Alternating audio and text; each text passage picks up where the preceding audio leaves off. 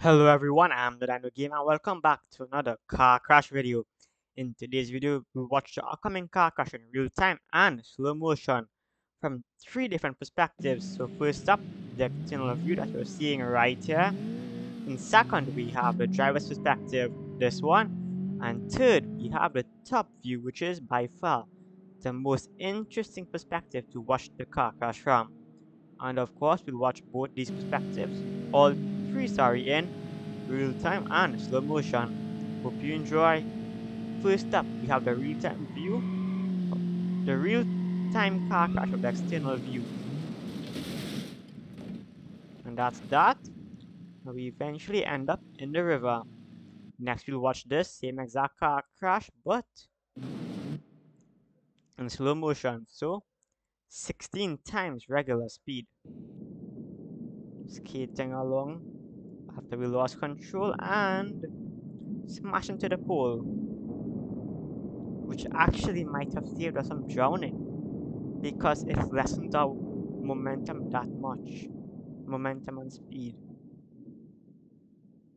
We crash into some bushes which further reduces our speed where we eventually come to a stop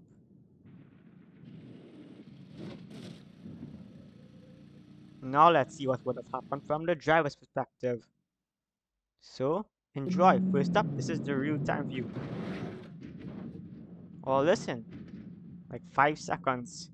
And just barely in the water. Just barely out of it. So, guess you'd have survived if not unconscious. At least you wouldn't have drowned. Now we'll watch the same exact view, but at 16 times regular speed.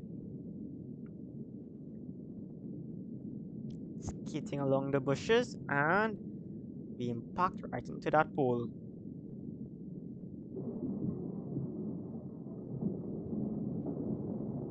Which, which dislocates the door. It isn't even attached anymore. I guess it's fucking a piece of broken metal. That's how it's still part of the car. But we skate down the hill. Luckily, it wasn't a very big drop and we eventually end up in the sea.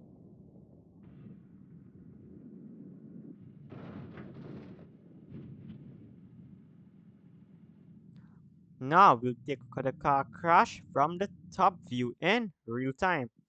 And this is by far my, my most favorite view to view a car crash. We first lose impact, try to gain stability, but we don't, and crash into the pole and end up barely in the river. You can see the severe bending of the car from the impact. Now we'll watch the same view, but in slow motion. So here is where we lose control, just about avoiding that red wagon. Try to regain stability, but we don't end up in the dirt. Now we're horizontal to the road. And as we go to 16 times regular speed, we'll get a good view of the bending of the metal.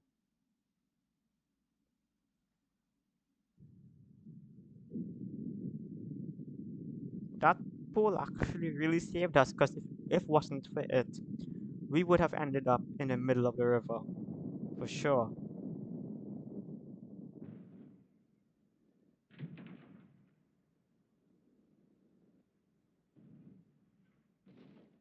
So, that will be it for today's video. If you enjoyed it, please consider leaving a like, subscribing, and until next time, I will see you later.